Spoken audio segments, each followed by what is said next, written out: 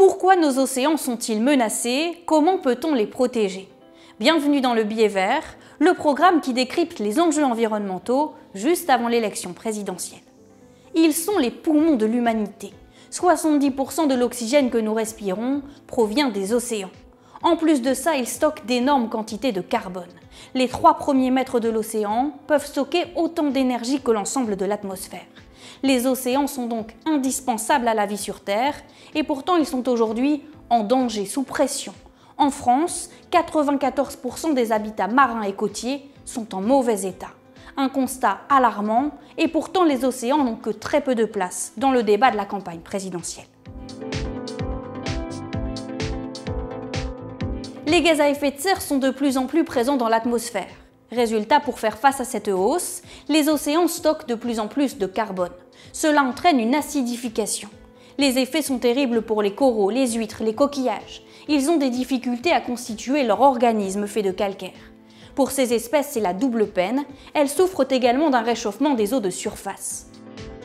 Depuis 2009, 14% des coraux ont disparu, mais pour Françoise Gaille, vice-présidente de la plateforme Océan et Climat, des solutions pourraient peut-être encore les sauver. Il y a des, beaucoup de projets qui commencent à regarder le type génétique de chaque euh, récif corallien pour essayer de, de, faire des boutures de corail et pour voir s'il serait possible de les cultiver dans d'autres zones plus propices, disons, à leur, euh, à leur physiologie.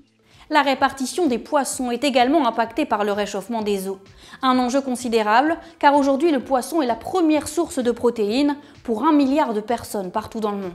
Selon Clara Ulrich, directrice scientifique adjointe à l'IFREMER, certaines espèces ne parviennent plus aujourd'hui à se reproduire dans leur milieu naturel. On a des, poissons qui deviennent de plus en plus euh, euh, rares dans nos pêches donc, euh, quand même un exemple qui est, qui est, quand même assez frappant parce que c'est un poisson emblématique de nos eaux, c'était le, cabillaud. Hein. Historiquement, quand même, on pêchait beaucoup de cabillaud dans la mer du Nord, dans la mer Celtique, dans la mer Baltique, enfin voilà, dans beaucoup des eaux européennes. Et puis donc de plus en plus, c'est quand même c'est un, poisson qui, a de plus en plus de mal à se reproduire. On en attrape de moins en moins. Le changement climatique a donc des impacts considérables sur la vie des océans. Pourtant, pendant cette campagne présidentielle, rares ont été les propositions des candidats pour tenter de les protéger. Le réchauffement des eaux a aussi des impacts sur le niveau de la mer. Avec la hausse de la température, l'eau se dilate, ce qui signifie que son volume augmente.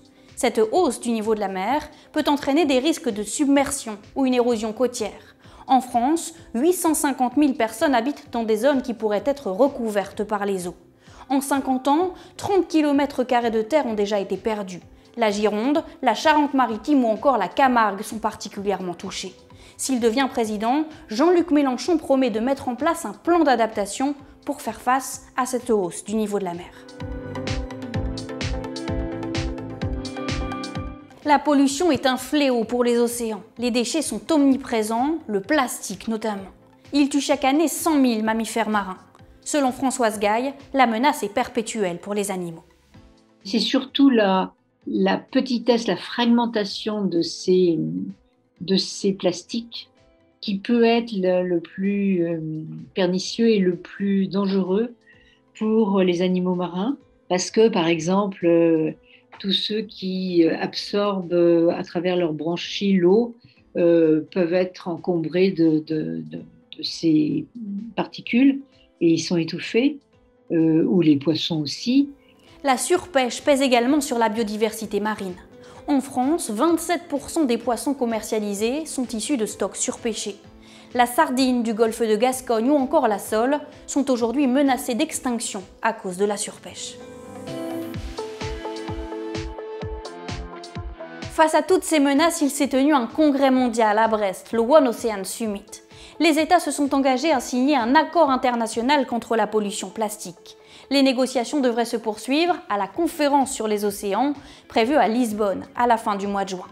Emmanuel Macron s'est lui fixé l'objectif dans les dix prochaines années de traiter les décharges qui jonchent le littoral et dont les déchets tombent parfois dans la mer. Dans son programme, Valérie Pécresse s'est-elle fixé un objectif zéro plastique afin de mieux protéger les milieux naturels? Même volonté pour Fabien Roussel, il veut mettre en place, s'il devient président, un plan de lutte pour réduire l'utilisation du plastique. Pour limiter la surpêche, aucune décision n'a été prise récemment. S'il devient président en avril, Yannick Jadot promet de limiter la quantité de poissons capturés. En attendant, ce sont les aires marines protégées qui permettent à certaines espèces de ne pas disparaître. Le mérou nous donne une lueur d'espoir. Ce poisson massif, à la lèvre épaisse, avait pratiquement disparu à cause de la surpêche. En 2009, 20 millions d'individus avaient été capturés. Mais le mérou est de retour, en nombre, notamment grâce à ses espaces de protection. En France, 23,6% de la superficie des eaux françaises sont aujourd'hui mises à l'abri des pressions de l'homme. Merci de nous avoir suivis et à très vite pour de prochains épisodes.